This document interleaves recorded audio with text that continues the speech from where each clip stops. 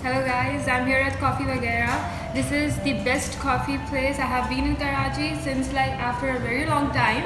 I would recommend to everybody to come here and have this amazing coffee at affordable rates like you won't ever get it in any cafe in Pakistan. I'm pretty sure about it. So it has to be my go-to place. Please come and check this out and they have amazing tea on Eid as well.